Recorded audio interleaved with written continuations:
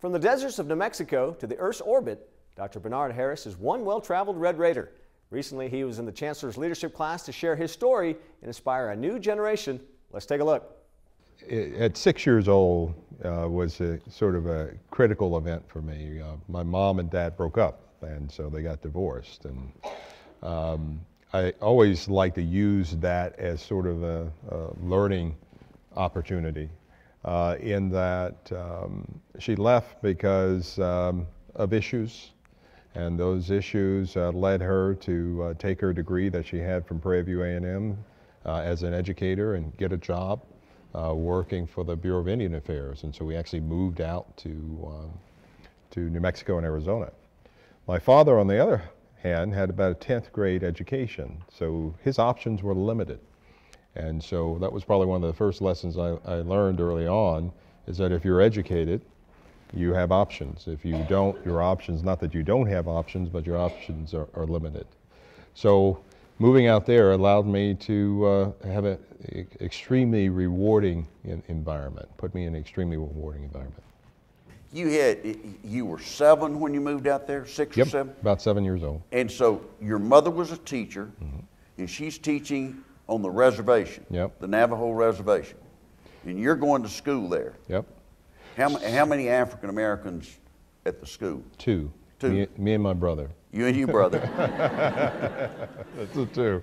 So and then everybody else was a Native American. Well, not exactly. So the majority were Native Americans. Uh, the way that the Bureau of Indian Affairs works, at least back in that day, is that they put these compounds in, you know, strategically around the, the nation. And, and by the way, the Navajo Nation is the largest Native American reservation out there.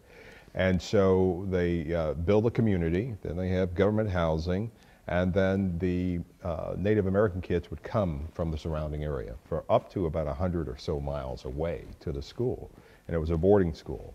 And it was the only school in that region, so we went to school alongside the Native Americans. But there were also, you know, white kids and Hispanic kids that had come with their parents who were also educators. Were there any, do you remember any teachers or anything that really inspired you along the way uh, in, in high school or junior high? Well, I actually started in, in middle school in Tohatchi.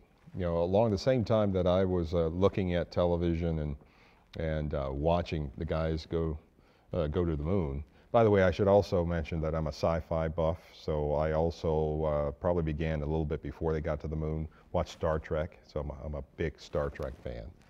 And uh, one of the reasons, and I'm sure he'll, he'll get to this, I'm going to tell you that I'm a medical doctor, one of the reasons I decided to go into medicine is because I saw uh, Bones on the Starship Enterprise, who was the first guy I saw practicing space medicine. It's kind of cool. So when, you, when you graduated from U of A, then you went to UTMB to get a master's? No, I actually came here. So okay. I went to Texas Tech. Okay, so you came directly yep. here to medical school. Yep, I was accepted here um, at Texas Tech, and I came directly here. And uh, uh, Tech was uh, by far, I think, the, the best choice that I, that I had. It was, uh, was wonderful. I'd applied to Baylor and applied to UTMB and, and uh, to UTSA, and, and Jack said yes, and uh, I came to West Texas. And, and tell us a little about when you were living here and you were going to medical school. It's no secret that West Texas is in the heart of West Texas. There's not a lot of minorities here. And so I spent a, a, lot of time, you know, both as a medical student and also as a regent, trying to encourage young people to come here from all ethnic backgrounds. And um, I think it's important. Why? Because I believe that this institution is the reason why I got a chance to, you know, of course, go to medical school, but got a chance to fly on a couple of missions. Uh, it really gave me the foundation that I needed. And I, and I want to make sure that uh, students from wherever uh, can you know come here and understand and have know, what a same great, opportunity. Exactly, same opportunity, and realize what a great environment this is. There's one one story I, share with you. It's when I went to the Mayo Clinic. Uh, I had been focused through college and focused through medical school just to get through, you know, just the hard work. You know, you guys know about that. You know that uh, especially if you, you're going to medical school, you, are taking these science courses um, that not many people do on, on the campus. You get into medical school and your whole focus is to make sure you pass so you can get out on time and, and become a doctor. So I had kind of put, pushed that aside, besides the occasional stopping studying to watch Star Trek. Uh, other than that, I was focused. When I got to Mayo, my first rotation was with Dr. Coombs. Dr. Coombs is, uh, was notable for being one of the first physicians that was sent uh, from Mayo to NASA to pull the astronauts off, you know, out of the um, out of the capsules when they landed, when they came back, and actually did, um, you know, examine them and make sure that they were okay. So we were sitting around during um, lunch, and uh, he went around the table asking, you know, what what do you want to do after you're done with your residency? And I said, I want to work for NASA. And we ended up with that kinship, and from that kinship, he uh, told me, shared with me those stories, and you could probably see uh, I was getting excited. And then he introduced me to the head of the aerospace medical group there at Mayo, who's always been involved with NASA. And I kid you not, guys.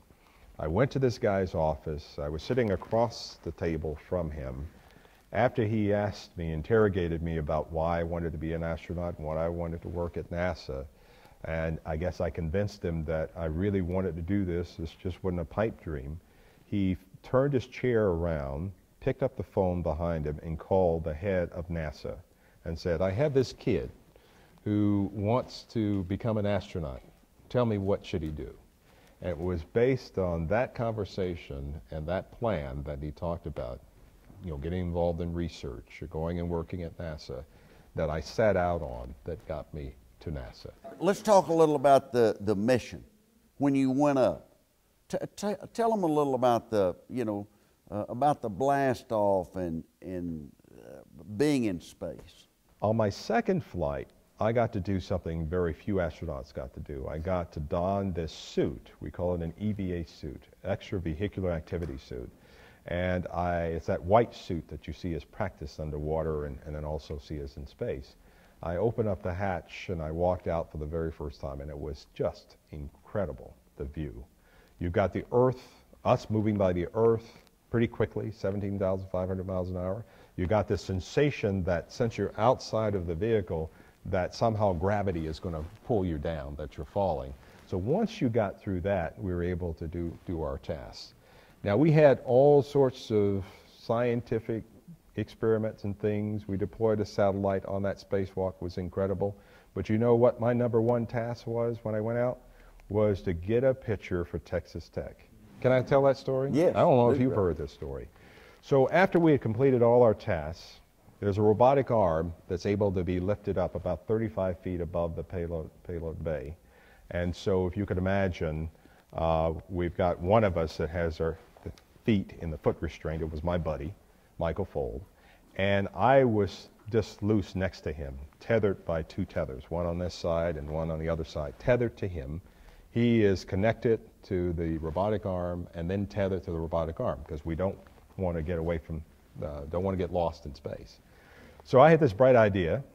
I'll give you the camera. I want to do something for my alma mater, and I want to do Guns Up. Of course, he's from London. He'd go, What's Guns Up? I said, It's this. All right? He says, Okay.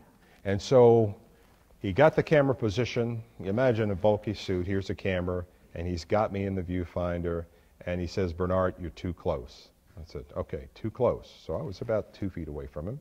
So I pushed off just a little bit, so I'm floating about four feet from him. He said, Bernard, you're still too close. I can't get you. I said, okay. So I said, I have this bright idea. I'm tethered to you. Why don't I push off from you? And when I get to the end of my tether, I'm going to do guns up, and then you take the picture. So that's what we did. And we had to be real quiet because there are hundreds of folks listening to our chatter. They're trying to, what the hell are these guys doing? So I pushed off. I got to the end of the tether. I did guns up, and I actually went head over heels, you know, kind of flipped up. And he said, I missed the shot. so I said, okay, we got to do it. We did it three times. On the third time, we got it perfect. And I don't know if you got a chance to see that, that picture, but he pushed me off. I went out to the end, and I held up guns up. And behind me is the Earth and space. Dr. Harris is another great example of how far an education from tech can take you. And I'm not sure anyone will be able to outdo getting your guns up in orbit. When Inside Texas Tech returns, we see how social networking doesn't have to be a distraction in the classroom, plus a look at how the Texas Tech system is investing $2 million in public artwork. Don't go anywhere. Inside Texas Tech coming back